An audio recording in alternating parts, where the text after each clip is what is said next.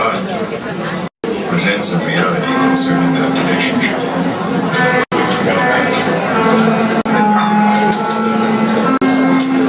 Constant placation, of previous aesthetics, consumes present resources to the extent that as the needs and desires of the present aesthetic make themselves felt, the resources have been exhausted. Present aesthetic lets us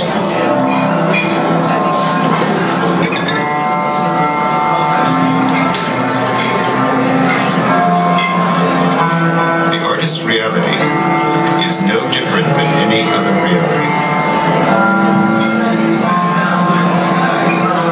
It is the content that gives the perceptions and observations of an artist within the presentation of art a use factor within the society. The acceptance of the need for this distancing by a society, in fact the need itself by a society for its art to function, has led to the misconception that art and artists are apart from society unless they do not function as artists.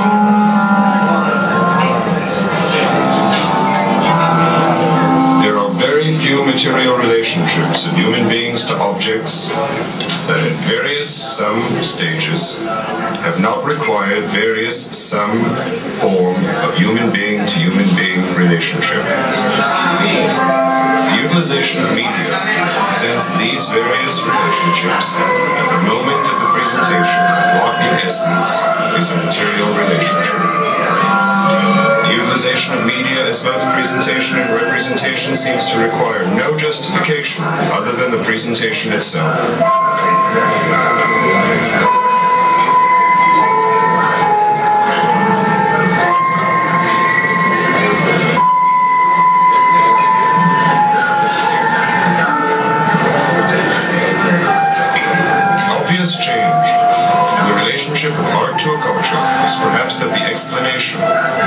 Needed justification of the existence of art has been arrived to the concept of production. This reading, while obviating some form of social unease, is not in fact the case. Art is, in relation to its society, a service industry.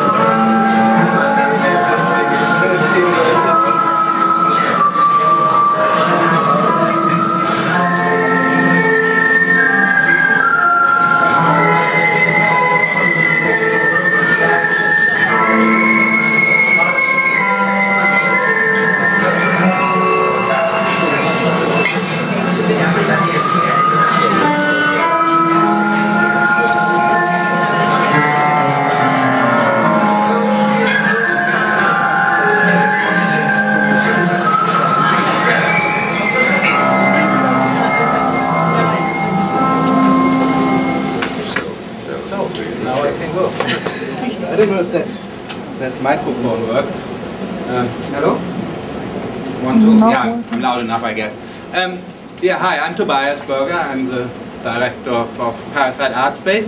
Um, thanks everybody for coming to that lecture by Lawrence Weiner. Um, first of all, we have to, or I have to thank um, besides Lawrence, um, the art school or the Hong Kong Art School um, for organizing the lecture here in the Hopewell Center, especially Pamela, not only for organizing that, but also for helping us bring a lot of people together and bringing a lot of people here. Um, also, to uh, thank for that exhibition Christie's, which helped us to bring Lawrence over, as well as the Asian Count, um, Cultural Council with Michelle, um, who also were very generous for that great occasion.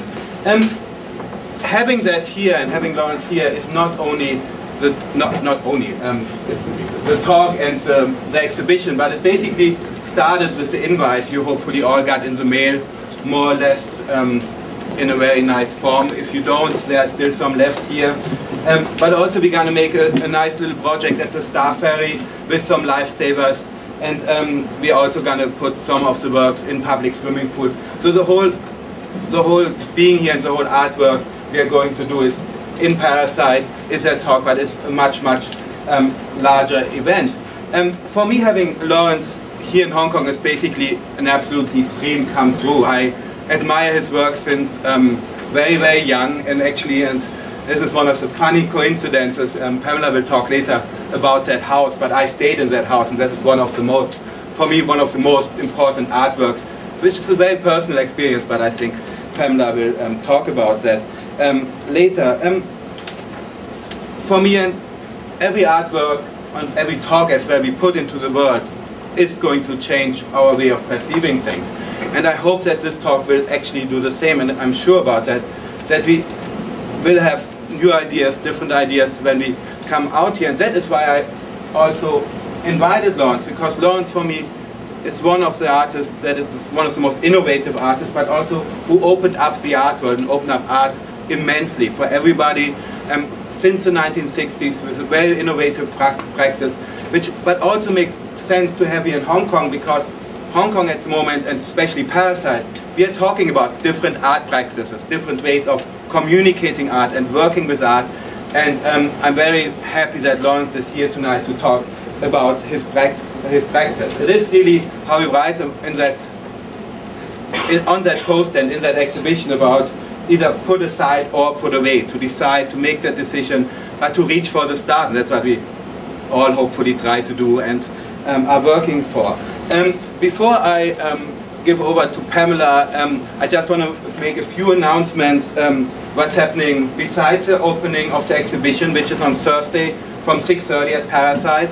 I hope you all come and you're all welcome to come. We have next week, besides wonderful artwork, we will have um, Nikolaus Schaffhausen in town. He's the um, director of the Kunsthalle, which is called Witte de With in Holland, but he's also the director of the German Pavilion um, in Venice this year. We are very happy to have him. Um, this talk will be at the Goethe Institute, also going to be very interesting. And also um, Para Site, we will start something like a curatorial program as well. Um, if you want more information about that, um, let us know. Um, I, as I said, I'm happy that Lawrence is here. I'm very happy that he does a lecture because we always think oh, artists, it's so easy to talk, they just talk about their practice and so on. But artists are actually not there to do talk, artists are there to do art. And I'm always very thankful if I can kind of ask an artist and he accepts to give a talk, especially here in Hong Kong. And um, thank you, Lawrence, for agreeing to talk. I know it's not... We haven't, we haven't not, gotten through it yet. Oh yeah, we haven't gotten... so but we have gotten through me yet. And um, yeah, thanks a lot. Thanks, Pamela, for having us here. And um, thanks, everybody, for coming in for that lecture.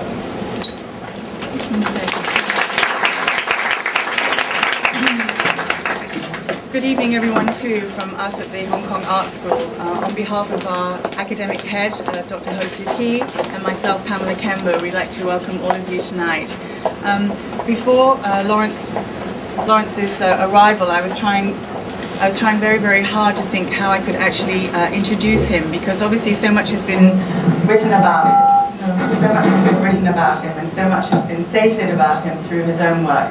But what I found really fascinating, uh, and this connection with Tobias, uh, Lawrence, myself, and uh, a man called Stephen Vincent, who lives in San Francisco, but actually has been going to New York for the past 20 years.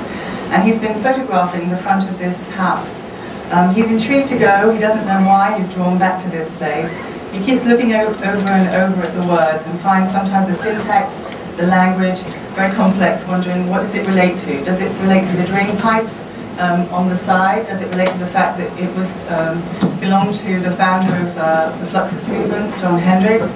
Um, he's been pondering this uh, for a number of years. Um, and I just happened across this image when I was uh, Googling a search for Lawrence to find out a little bit more about him. Um, what was interesting was uh, Stephen Vincent um, began to talk about this work to his 91-year-old mother.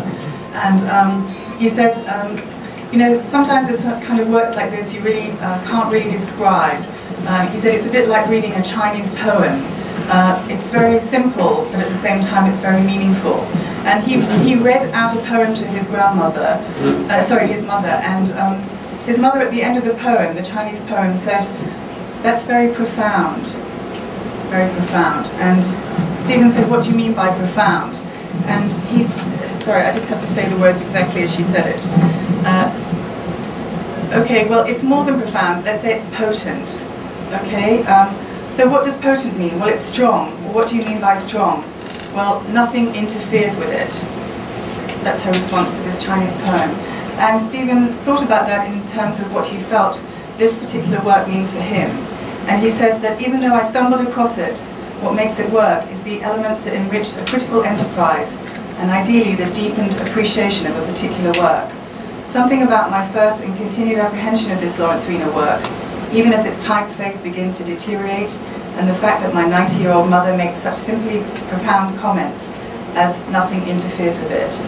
Um, I actually Googled him and said, I'm going to mention it tonight in my talk with Lawrence, and he said, please ask him if he can please come back to me at some point in the future, because I really love to talk to him more. So I think across the miles, and the fact that until tonight, Tobias had absolutely no idea I was going to show this image, and I had no idea he lived in this house, and that we are all here together, and Lawrence's words are on the wall. So please welcome Lawrence Weiner.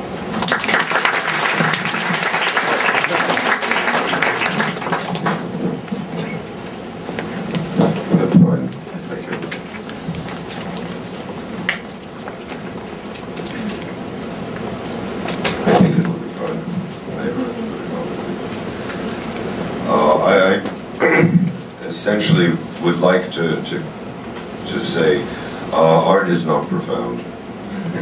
and the idea of art being untouchable, uh, that's not its purpose. Its purpose really is to get in the way.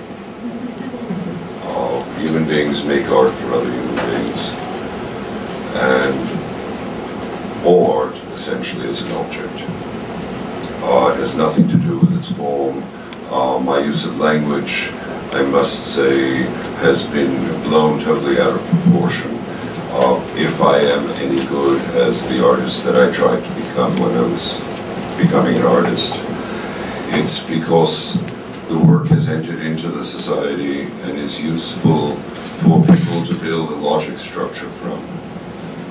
All art presents a logic structure, whether it's in any form that it takes. Those logic structures are used by people to find their own place in the. I'm a little perplexed today to be doing this. I don't lecture and I, have never taught. Uh, I've done some seminars when I was broke. And, well, I, I, don't think that's even, to tell you the truth, that wasn't said to be amusing. Uh, teaching is, is an extremely honorable profession, but it carries with it a certain authority. And my choice to not teach was nothing against the Academy because I realized this morning on the radio when they were, were interviewing me, they asked if the luck that I had because I, I grew up in the South Bronx, which is sort of a not nice place. And uh, if it hadn't been for my falling by luck or what into a school structure, uh, I would never have even known that art existed. So it's not about my rejection of the Academy, it's the fact once you enter the academy, the requirement is, is that the teacher has a form of authority. Often in our world uh, misplaced and often in our world undeserved, but it's better that the student and the child sees this as an authority and from that they can build something. I chose not to teach because I didn't want to join the establishment. And I had to make a decision because I'm a normal person like everybody else and I did want to have a child and all of that. The genteel poverty was probably the better way, and it didn't even sound romantic in, in the 60s. Uh, I come out of the 50s, and my choices to make art are really to put things in the way of other people that they stumble over, that they notice, and from that they can build a structure. Uh, I will be happy to answer any questions from anybody at any time about uh, my past, about the work that I've done, maybe a piece that they've seen that interested them, or maybe a structure. But I'm not here to explain it. I think art should be shown and art should be invariably placed without any explanation. My, my dream is to be able to make things that don't have instructions. Uh, the use of language was to take it away from the romanticism of the artist knows how to do that better when you realize you're talking about a piece of wood in relation to another piece of wood in relation to a human being. Once you've got that straight, it doesn't matter whether the wood was made in Japan, sorry, it doesn't matter whether the wood was made in, in Northern Europe or whether it was made in Hong Kong. Uh, you have another kind of thing. I'd like to take it that the artist as a human being could be romantic, but the position of being an artist and the idea of being an artist is not a romantic choice. It seems to be a necessity within our society, and my attraction to it was that with a very small footprint, you could fuck everything up. And I didn't realize that that's the only one nice thing for artists is when their work becomes a little bit uh, accepted and they're out in the world. I did a project in New York uh, with manhole covers, which almost came about by chance, but once it did, surprisingly, the electric company that did the manhole covers, the people that built the foundry things for all of these structures and sewers in the, in the city, became enthusiastic. And it was before Time Warner took over the local New York City television station, which was cable, which meant you could say anything you wanted. There was no censorship on it at all. And somebody came to me and was interviewing me in front of the last of the manhole covers in this this track, which went from the Lower East Side, where I, it was my drinking route, went around MacDougal Street, or around Washington Square, went to Union Square from Access, Kansas City. It went basically the structure of my life as I was developing as a human being. And um, it ends, by the way, at the Greenwich Village Old People's Home, which is about four blocks from where I ended up living anyhow at this point. And they looked and they said, listen, uh, you know, uh, I, I, I know what you do. And I said, that's nice. It's just a reporter. And he said, uh, and I know your whole background because I was involved in civil rights in the city and, and involved in the South. And he said, and you know, you're a very violent person. You're a very aggressive person, and this doesn't seem aggressive. And I stood there and I never thought about me being as an aggressive person and realized that it wasn't aggressive, but the whole point was I did not want to take people on their way to work and fuck up their day. I wanted to fuck up their whole life. and the way to do that is to take sculpture, to take things and to place them within a context that when they see it, is in a gallery, in a public space, any place else, that logic structure requires acceptance. And once you do, you no longer can go back the way that you were before.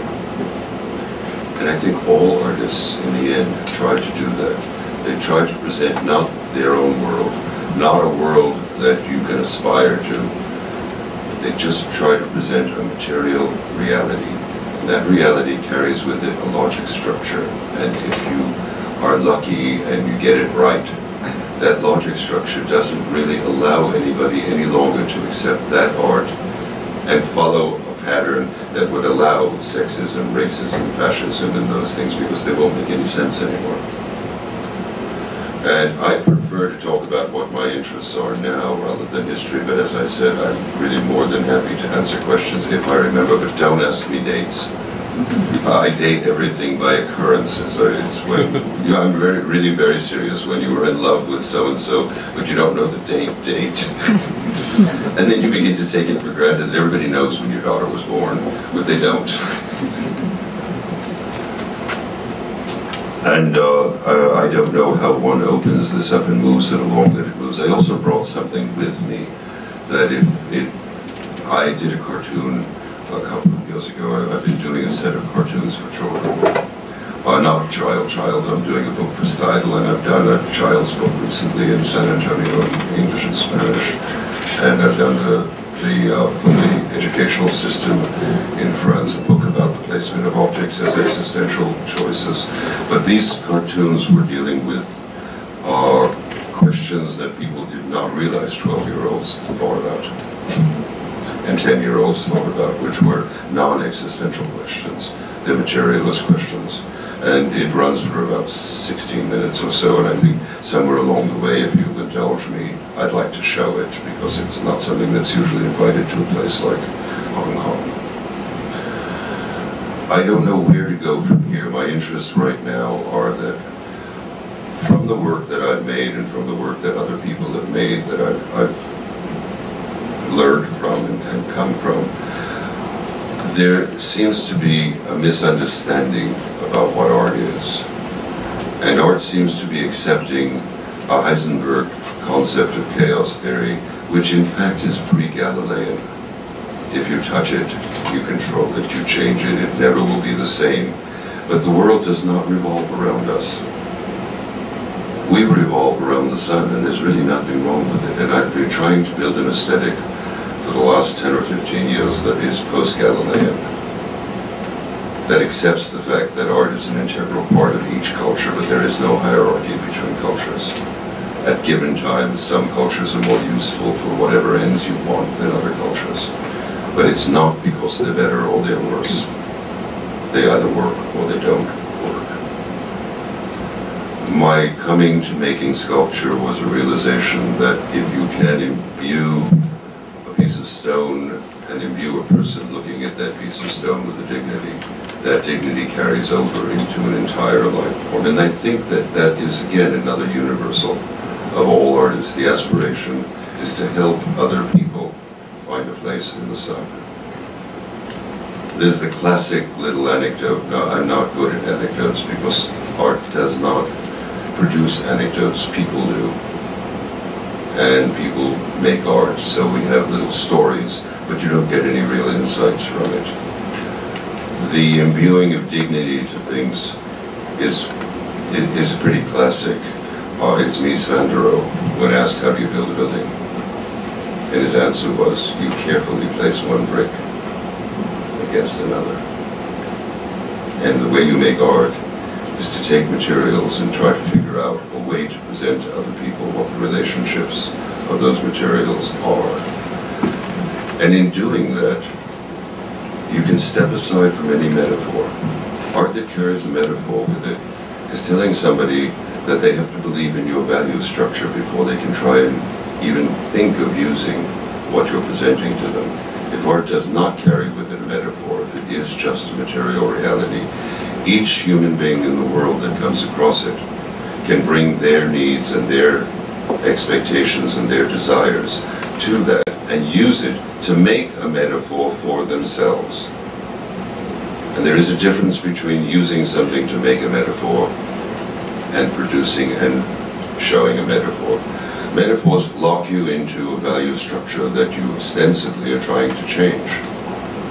And then you use this metaphor. I, I, I see art in a, in a very dramatic way. It's this thing that floats above this table. And in floating above this table, it doesn't fit anyplace. Nobody really quite knows what to do with it. It's not useless. That was a nonsense of, of post-Greenbergian thinking. Uh, it's, it, it doesn't get used because you understand its, its basis and where it comes from. It gets used because at that particular moment it opens a door, it stops a draft, or it keeps the water from flowing in. And it keeps floating and floating. And the table is all the accomplishments of human beings and all of these things. Let's say it's just art that's there. It's all the accomplishments before you. And it, it it's reflected in its glow, but it still can't find a damn place. The minute it does, it slowly settles down into this table and becomes art history. Now, art history is useful to understand where we came from, but it's not in any way useful to understand what to do now. And I think art is an active thing that's invariably looking for its place. And for me, I'm very proud of many of the works that I've made, and I'm very pleased, in fact, that they've helped other people find what they wanted to determine from their lives. But once it enters into the world, I don't know what to do with it anymore. And I see that half of the things that people, this piece is, is, is, is an interesting piece because it's been shown in different places, and uh, Geoff Hendricks and Brian Buczak. Uh, Brian had become ill, and they had asked if I would do work for them for their bread. Uh, what was it called? God, Art for Bread or something like that. I even forget the name of what it was for their their situation. And we put the work up, and it was the first time in the in that part of the Lower West Village that they had a party anyplace with Kir. Nobody knew what Kir was, and I had I had had a show in, in France and I became excited by Kir, so we put tables out on the street and we inaugurated the work. The work is all about sculpture. The work is all about the residues of things that are moved from one place to the other. And it is water spilled from source to use. It's not about anything, it is something. And art essentially is an object. We come from a historical time where people were trying to change the world, which they're supposed to, since it sort of sucks. But uh, working through that kind of situation, uh, they had developed this thing of, of saying that art was not an object. And yet they were asking people to use it. They were asking people to pay attention to it. Of course it's an object. And putting 40 pieces of paper on the wall saying this is not an object is ludicrous because it takes away the dignity of the 40 pieces of paper. Not even necessarily what's on them. 40 pieces of paper are 40 pieces of paper. And I've been finding that my praxis more and more is becoming uh, related to attempting to just put all of those things aside, not questioning them, just making them no longer what in English is called obviating. By virtue of its existence, certain other things exist, but they no longer have any use and no longer any power. And I, this work, I, I don't know what to say about it. I almost hope sometimes when I do do a little public performance or, or, or put yourself in front of people that they use it as an experience. I'm, I'm an artist who's been showing since 1960. Uh, I'm used to people not liking what I do and I'm used to people liking it. I'm good at questions. And if anybody here would like to move the conversations in any direction that they'd like to see, I'd be more than happy to do it. I'm saying that it's almost like a plea. I have no soap to sell. I cannot tell you how to make art. I, I can tell you what informs my attempt at, at, at building a praxis of making art. The use of language was a choice that turned out to be highly fruitful for me. It allowed me then to build my own mise en scène, my own stage sets. I could make movies, I could put them in them. I believe in books. I could put them in books. I could participate in exhibitions with my colleagues by virtue of the language of using language to present sculpture, and it's just to present it. Because when you when I fill out a loan form for a museum, it always says language plus the materials referred to. It is steel and stone and wood and spit and sweat. And the sweat is not referring to me, sweat is as well a material. There's a piece in Paris that was that was built into, into the structure of the sidewalk that's all about nickel, sweat, and tears. And sweat is not as saline as tears. But nickel is a rather interesting thing because any compound, anything that mixes materials together, it takes them out of an alchemical and it takes them out of any kind of uh, mystical sense. Oh, I'm a happy camper.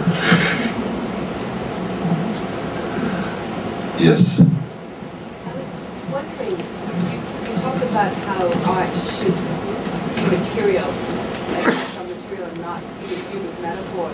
But isn't it that every person has a value structure within themselves? How can they divorce themselves from that when they're creating a piece? How can the piece be disconnected from their own value structure? I don't think you have to disconnect it, and there, is an anecdote that might even explain it better than my own personal thing. It's Jean-Paul Sartre, at some given moment, was selling during rather difficult times in, in France, selling Humanité, which was a leftist newspaper in the street. And his colleagues came to him, and he was no longer young, and said, Jean-Paul, you can't do this. This is ridiculous. You are the most famous literature. You've even turned down the Nobel Prize uh, you can't be selling this newspaper. And he looked at them and said, aha, look at me, I'm looking at you. From 7 o'clock in the morning till 12 o'clock every day, I'm working on my Flaubert book. And perhaps I am a great literateur. After 12 o'clock, I'm just a citizen of France, and this is the way it goes. And that's where your structure comes out. When, when your anger with a culture, for me at least, I can't tell anybody else what to do. When you're angry with a culture for its indignities, the indignities it, it imposes on people, when you're angry with a culture because it's not quite right, it's not working, what you do is you present your value structure, but in such a manner that nobody has to know who you are, what you are, or what you think. And if they accept what they see, it changes their logic pattern in such a way that it brings it closer to what your moral and your feelings are. Even using language, which I see as rather objective, I still have to deal with typefaces. And I, I found myself as, as a young artist hating Helvetica and what it stood for. And not being in a position to, to force people to do things, I had to find a typeface, and I found this Franklin Gothic extra condensed. This is really an answer to your question. And it, it didn't, it was a sans serif, it didn't carry with it any authority, but I thought it was really rather elegant. After 15 or 20 years of using it, I began to realize that when people saw that typeface, they were thinking it was something to do with me.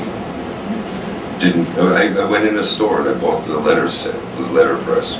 So I found another typeface and I bought it uh, on, on, from a type font place. And that began to do, so I, began, I drew my own typeface. There's just no way that you can do it because you develop. When people talk about their inner core, if you think that your art is going to be changing the people around you, better also believe that it's going to be changing you. So carrying with that, but when you make a work of art that does not give anybody tools to use, but tells them there's an indignity going on, which is the highest form of journalism. Who wants yesterday's newspapers? What good is it? What is your child when they look at a work of art have to have to know your anger and your your your feelings about indignity?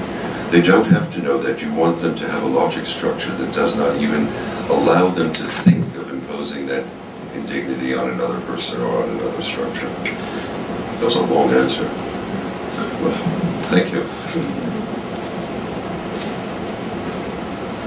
Anybody else? Yeah.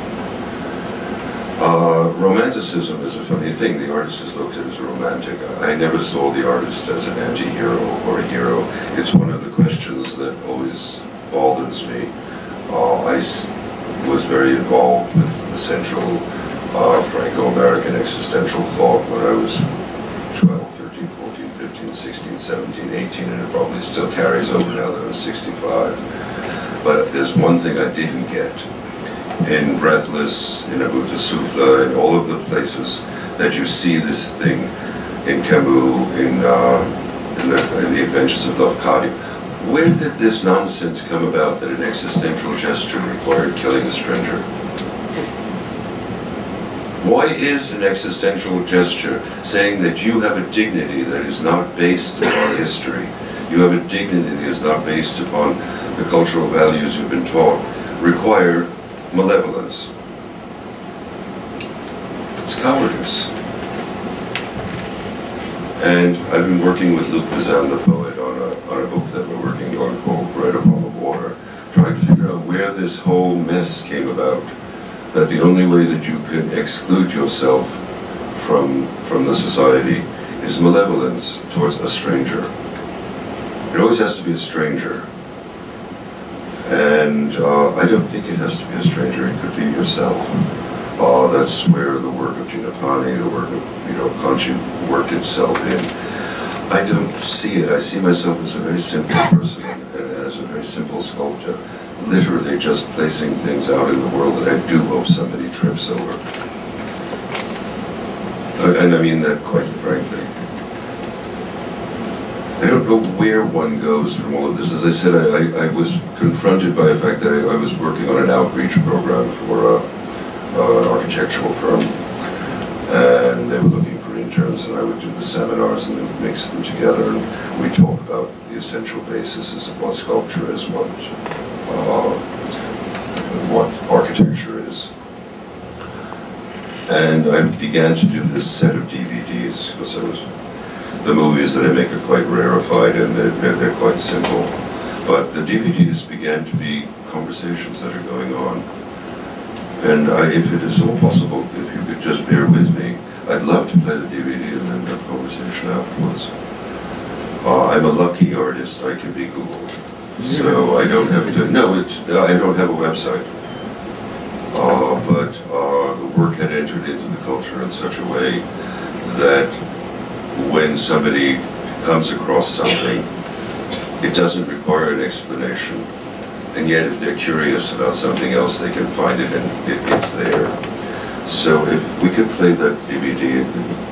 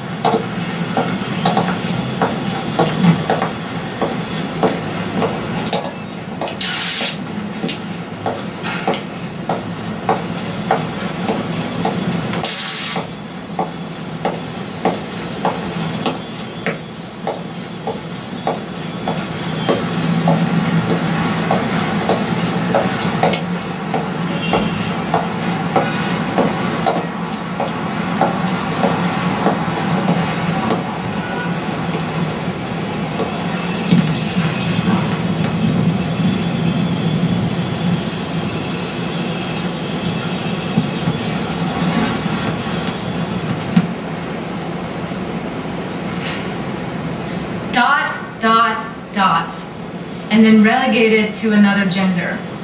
Dot, dot, dot. And then utilized as to another gender. And then untended as dot, dot, dot. And it's a done deal. Sink or swim.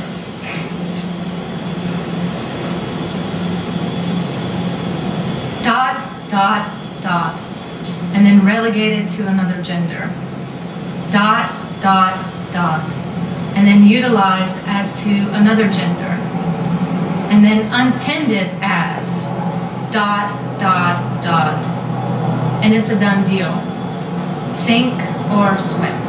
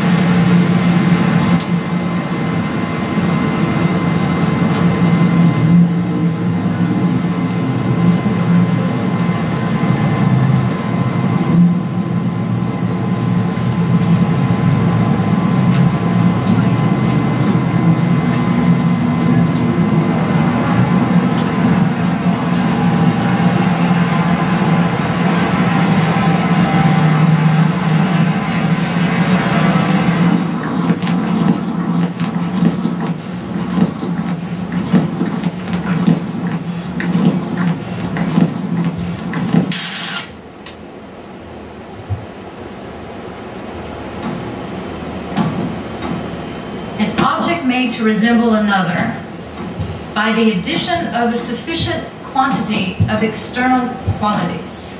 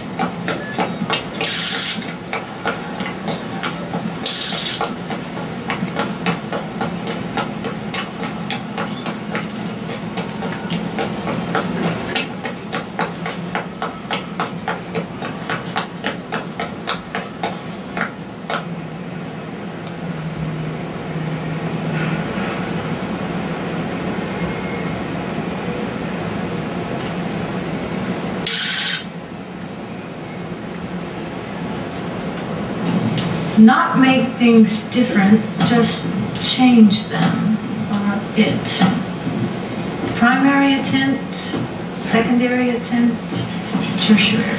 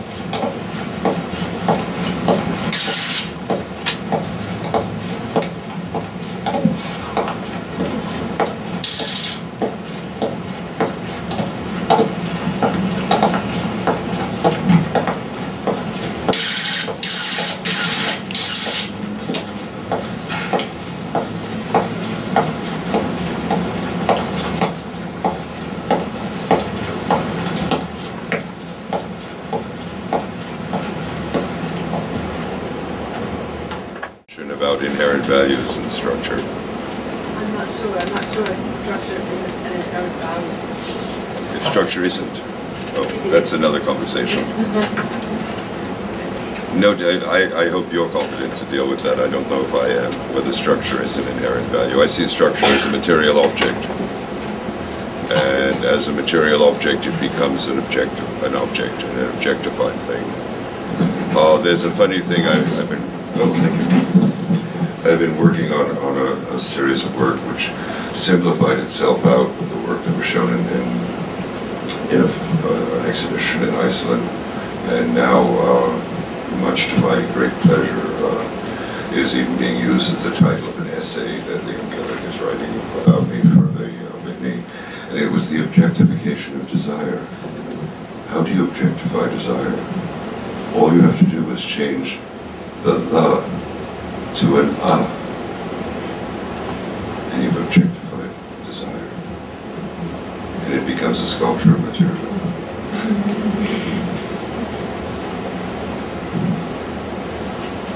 Well, I, I thank you for bearing with me. I, I, I, I'm, it's a rare occasion when one gets to, to sort of like a captive audience and show them what you're.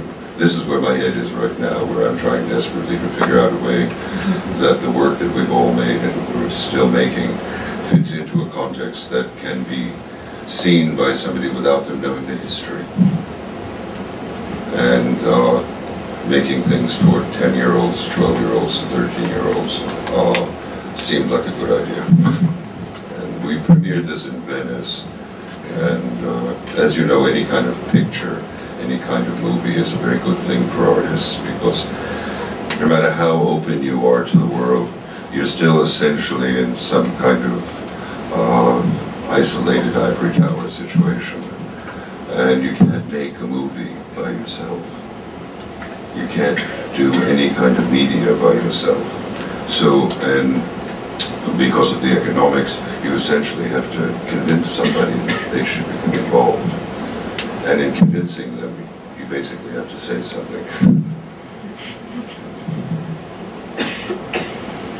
Are there any questions about any of the, the relationships of uh, a cartoon to a body of sculpture? Or the relationships of anything? Does anybody want to ask me anything while I'm here? Gene? Yes. Do you want to talk about your work at, um, in Para Site? That's Yes, very much. The, the reason that I brought this tape is that the work in Para Site is, is essentially a work that uh, is about sink or swim. That's why we have the, the illusion of that. We put the entire exhibition, which I really must say that this is sort of super, on a life preserver. We were able to build an installation, which I hope you'll, you'll be able to see. But the entire show itself is on a life preserver, which we're going to try to put into Pier 7. And we're going to distribute when the weather gets a little bit warmer at public pools and on the beaches to children, just on the simple little ones. We made uh, these plastic things that can be given away, and these other things that will hang there, where people waiting for the ferry will look up and they'll have this idea of reaching for the stars, reaching for the moon, and reaching for the core. The work is based with the, again, the objectification of what the reason we build sculptures for.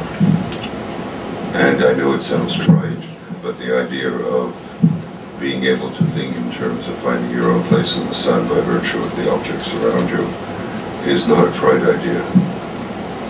It's things that make Brancusi interesting. It's the thing that made all of the things that made us interested in art uh, function and, and function in, a different manner. I have a very funny little thing that we knocked together, and I will apologize for the, the quality of the photos, but we just scanned them off of uh, some photos, and it's called 21 Questions. And I see art is always a question. Art is not an answer. Art doesn't answer anything, but it does question something. And it's all it's a series of work, and it's 21 photographs of works that are in public places that, when come upon, the question is, do they function without an inherent history, or do they not?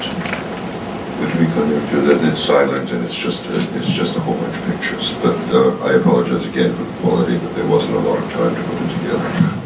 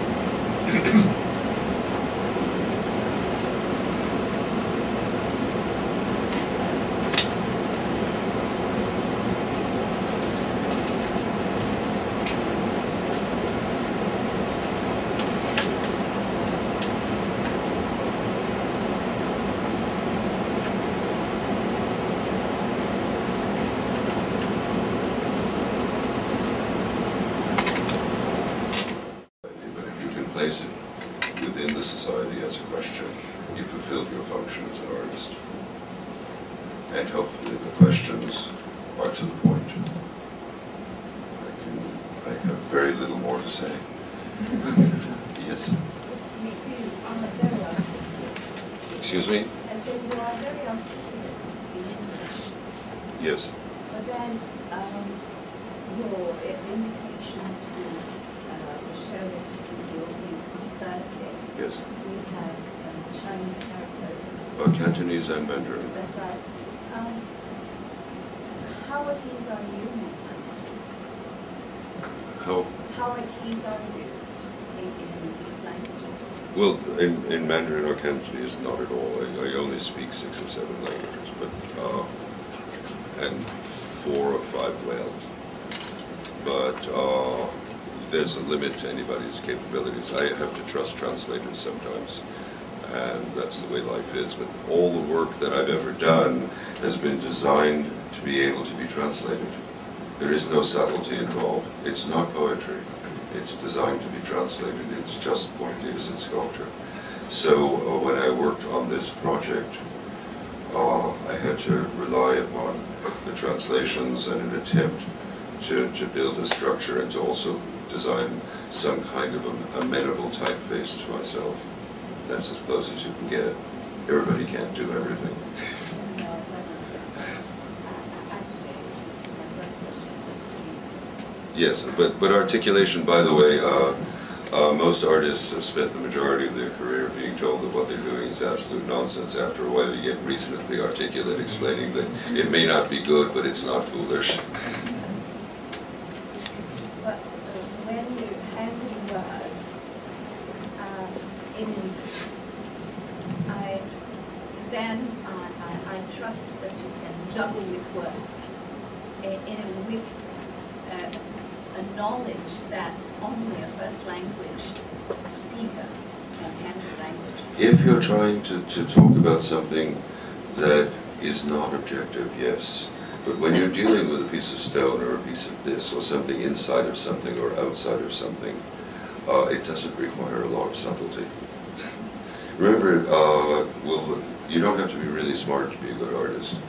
You basically just have to be very honest. And you look at the honest, I, I mean that quite seriously. It's something that the few times that I end up in a, near an art school or so trying to explain that if the artists who they think are heroes from Warhol to this one to that one, they weren't particularly smart. They were intelligent enough to get through their day, but uh, it's not about smartness. It's about perception and maybe it's a little bit about generosity of trying to show the world what you've noticed and maybe a little bit of naivete. Thinking that what you've noticed is of some importance because it was to you.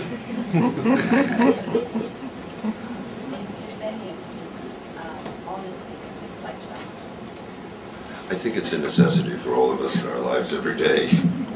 Yes. I, yeah. Sorry, could you try to shout out? I'm sorry, it's not very good with the uh, acoustics.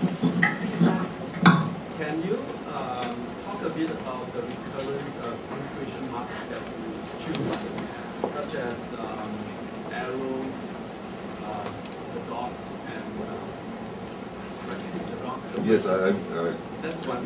Recurrent uh, symbols like stars and arrows, as well as the recurrent motif of water. Water, water is a good. that's water. Uh, I'm fascinated personally by water. I even choose, and I'm only, I don't need that thing. I even choose, and I'm only comfortable in, in water places. I'm even one of those people that, that adores Paris, but I can't stay in Paris for longer than six or seven days working without trying to hustle somebody with a fast car to drive me to the ocean. And I take a walk, I have a coffee, and I, what we just turn it off? take a walk and, and things. I find water one of the most basic materials that you could build sculpture from. And not because of its changeability and not because it's, it's never the same, etc. But water itself with its mass is a form of mass. The use of uh, all of these symbols are, are means of communication. Dot, dot, dot is a basic filmmaker's thing, and then, and then. It, it's part of a, a film that I, made with Mark Obenhaus years ago in this in the 70s, where the basic question is and then and then, and I see the same for sculpture. The arrow is a vector. Anytime we place things, but you can go through and give names to any of this. Uh, in the end, it's it's how it comes as a as an uh, a, a kind of a situation. I've been using this this form of uh, the ant, antithesis of infinity, which is of course infinity. And an interesting thing happened. I was working on a public project, and I was on some sort of roundtable talk for the television in a regional station in France. And one of the people said, "But nobody will understand that." meaning we understand it, but nobody else will understand it. And their little son was standing there about 11 or 12, and the educational system is okay in France. And they said, Papa, Papa, uh, we use that in school. And he said, What is it called? And he said, We use a lot of things that don't have names yet. and I'll, I'll leave it at that. And I'm not doing that as artistic license. We use things that are universally acknowledged. They can go from, from the bush to a city, everybody knows how to use it and what it is, they think, and nobody knows what it's called. I, for years, using the ampersand, thought it was called the typewriter and. And to break things down in that, that kind of a structure, uh, it's interesting, but I don't know how important it is.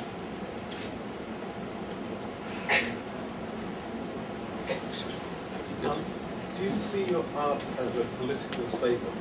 Do you see all art as a political statement? Yes.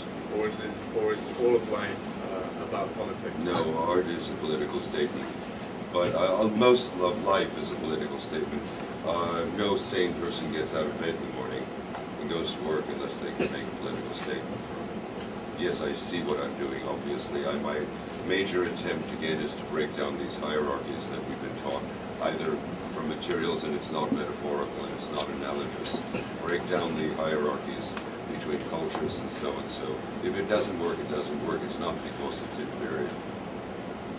Yes, I see it, all the work that I do as political. That's why I made this DVD and that's why I, I asked adults to sit and watch what I essentially made for, for children. Because it is political. And it doesn't have a double meaning.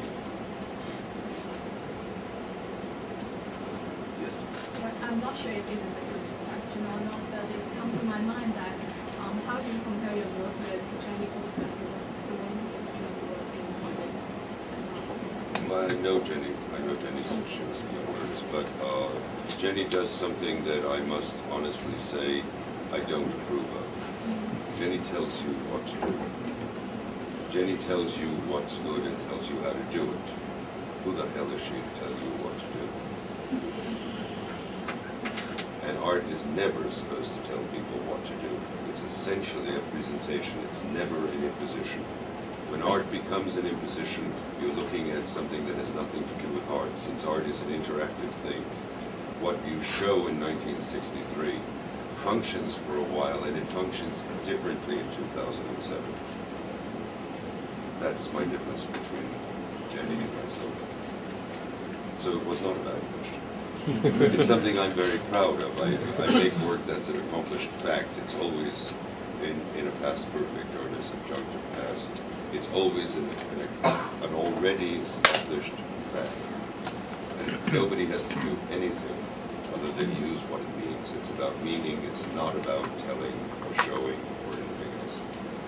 It doesn't tell you what to do. It doesn't have instructions and the morality that comes about with this instructive art and this assertive art that tells you what to do, that means you carry with it all of the values that gave you the Second World War, Vietnam, Korean War, etc., etc. And if you don't want to accept them, why are you listening to these people? I don't know, but when I was watching your video recently, I felt like I was instructed or I was my vision is sort of shaped by the way you make your video. Oh, well, that's, that's the reason we all make art. You make art to put things in a package that enters into somebody else's psyche and lifestyle. That's not telling them to do something. that's showing them something. And again, uh, the, the only reason we use virtuosity in work, like in Ed Ruscha is, is virtuos, virtuosity in painting, is to entice you, to attract you, the same way that when you when you want to convince somebody for something, you go, you brush your teeth, you clean yourself up, you stand there. That's nothing wrong with that. That's present presentation.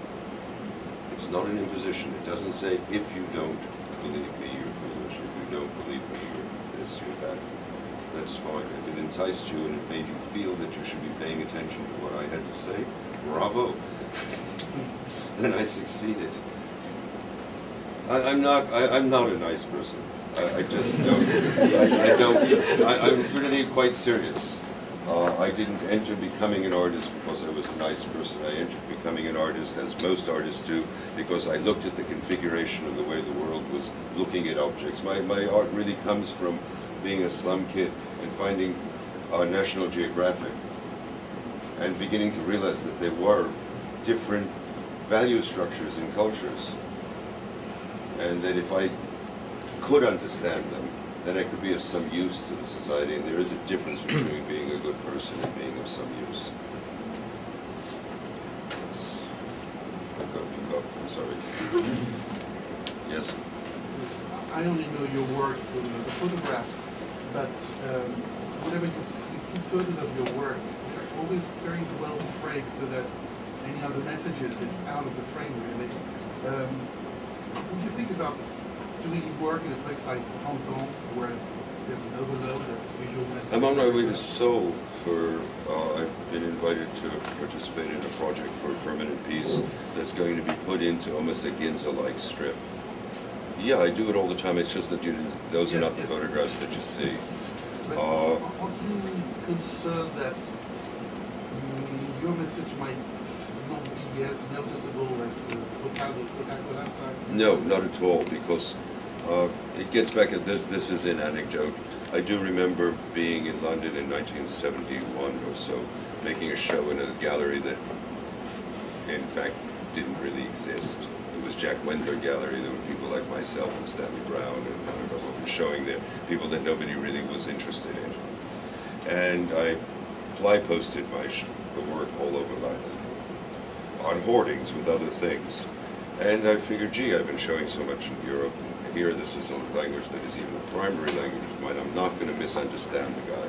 And I went into a bar, and I do this often in, with taxis, with public things. They don't know who you are. And you say, well, what is that garbage? And the guy looked through the window of the pub. He said, oh, that's art. this is 1971. Black letters on a white poster. Okay, I looked at him and I said, uh, what do you mean that that's art? He said, oh, you know, these young artists, they don't have any place to show, so they put it up on boardings. I said, oh, you like this? And he said, I'm not interested in art. But he knew what it was. And I don't have to, uh, I'm not afraid of that. So what if somebody sees something and you're talking about the relationship of uh, brick to concrete and, and other things and materials, and they think it's an ad? What's wrong with that? They're getting the meaning of what you're saying. And that's the reason you put things in public places. Isn't there a danger that it will disappear by just being there for a while? Being an artist, there's a danger you're going to disappear every single morning, and it has nothing to do. It has nothing to do with the market. I don't mean that. That your work is no longer going to be functional within the structure. Yeah, there's a danger. It's it's it's it's a high risk profession.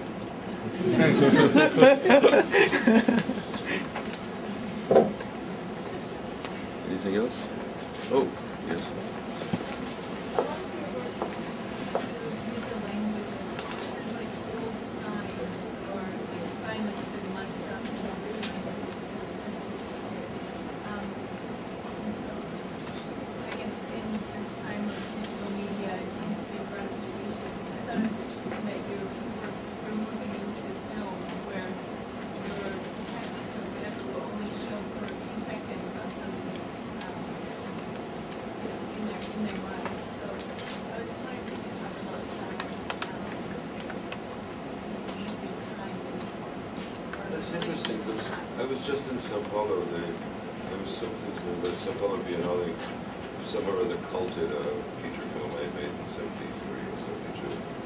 And I realized that I had been doing that with uh, analog camera, having work on the wall, work someplace, just the camera passes you by, very much like a passerby on the street. I don't see a problem with that. People, people people's eyes, are, they, they notice things. But the digital Sorry, thing, Lawrence, I don't know. I, Lawrence, sorry, we can't hear anything. Oh, I- I'm sorry. I'm so pleased to, to be answering questions. No, no, it's not about the sound. It was that effect I was talking into the corner. I, I, I, my apologies. But uh, this idea of uh, digital changing things, I don't think it's about instant gratification. And uh, I don't think that uh, this overwhelming overload of information is, is really any different than the advent of television into people's lives, the advent of radio into people's lives. Uh, in the end, it's going to be the substance of what's being presented within the digital format that makes the difference. And people will remember things. It, it doesn't have to be shoved down people's throats and constantly reiterated. But remember that most art things uh, are of no use to a lot of people. A lot of people don't want to question what their relationship to the world is. And they find art, and they do find art at strange times in their life.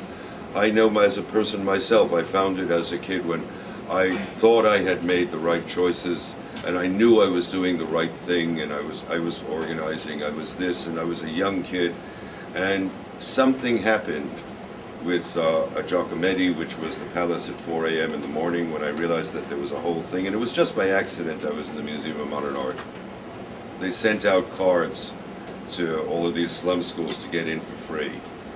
And I had discovered that, to be perfectly frank, it was much nicer to cruise in the Museum of Modern Art for girls because not only did you do your adolescent thing of having the, getting sex, but you could also talk to them about something when you were finished.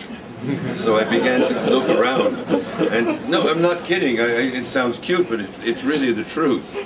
And you you enter into things by accident. And I saw this Giacometti that was in the Museum of Modern Art just sitting there. And because of that, and I looked at the Pollock, and I began to see the Pollock as some kind of a star map in relationship to the materiality of the paint. And I had been doing manual labor as a kid, well, most since I'd been 12 on the docks and all. This all made a lot of sense to me. And from that, I went and searched out the bars where these people who called themselves artists were. And New York in those days was not a, it was not a Protestant city. And you could start drinking in bars when you were 12 or 13 if you were tall enough and you were quiet enough. and I found these people, and they, they, that would became the world that I wanted to enter into, and I realized I had, I had to do something in order to be there. And that, that's, so I'm not worried about it. You are. No, it's a concern, but I, I don't think it's a major concern. And, maybe the concept of, of how much you have to look at something to understand it has changed. Maybe we're becoming quicker readers. I don't, I don't mean by language, I mean maybe you can do a quicker read when you see something, and you can go back to it.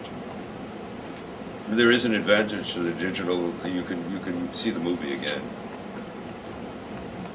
That's an advantage, that's something. So, yes.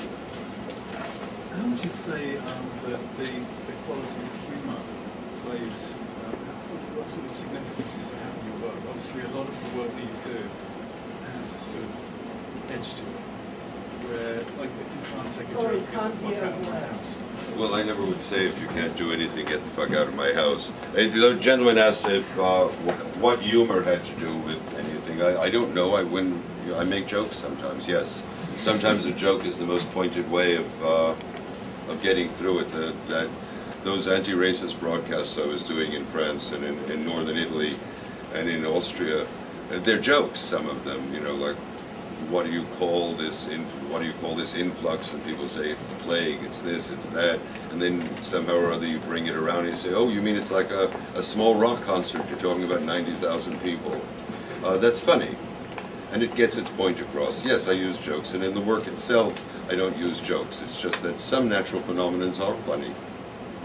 Remember the world, I, we did this wonderful project, uh, three old fart artists, uh, Julião Sarmento, John Baldessari, and myself, did something called Thrift, uh, where John was doing slapstick, and I was doing another aspect of a kind of a slapstick. And we were using humor as a means of dealing with this multiple perceptions for a projection. But it's so rare that you even start off using humor. It's just some things are funny. Just want to add about the body, your own body. Have, have you used the human body as a palette? As a palette? You mean as an Yves Klein thing? No, I make movies and, and I do performances, so I ask people sometimes to do things. So I guess I'm, I'm, I'm using human beings to present a mise en scène, a form, a, a, a kind of an arrangement. But as a palette, I, other people have put, people who, who have work of mine have had them tattooed on them. Uh, I couldn't, I mean, I like tattoos. I have tattoos. My, my lover has tattoos. My daughter has tattoos. Uh, that's not the point. I couldn't do that to somebody. I don't see art as, I'm not so sure of the work that I make that it should be that permanent. But other people have done it and I've been willing to design the tattoo for them. But that's their choice. So I wouldn't, an Yves Klein thing, you know, no, I haven't. Give it time, you never know. Well, I think that's it, yes. I'd lo- High risk, high risk performance. yeah. Last one, okay, very last. I can see you uh, exhibited in many places in the world. Yes. And uh, do you have any, uh, do you do any research before you take a decision what to do in that uh, region, places? It's funny, I, I try not to because I don't believe that art is site specific. I think that what happens is, is we, we are all site specific wherever we're standing. And I think that when you install something, if it functions in that place, it becomes that site specific. But I do do a little bit of research. Uh, if I'm going to a region where there's coal, uh, I'll try to find out in my own head if I'm at all interested in coal at that moment. But that's about it. It never relates sociologically and it never relates uh, culturally. Because if the work is totally objective, every culture will essentially relate to it. And it'll look like it, it was made for that and it belongs there. Like any human being that begins to function in any culture, you move them from one place to the other, then when they start to function, they look like they belong there. Well, thank you all very, very much. And that's it.